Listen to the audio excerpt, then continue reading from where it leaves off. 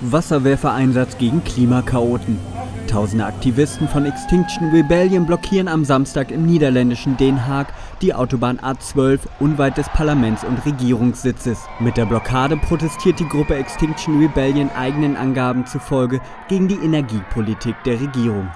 Die Polizei fackelt nicht lang und setzt nach einer Warnung Wasserwerfer ein. Bereits zuvor hatte die Stadtverwaltung Den Haags darauf hingewiesen, dass eine Blockierung der A12 verboten sei.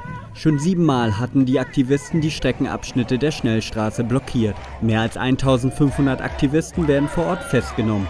Inzwischen befinden sich alle bis auf einen wieder auf freiem Fuß. Der letzte bleibt in Gewahrsam. Polizeiberichten zufolge wird ihm vorgeworfen, einen Beamten gebissen zu haben.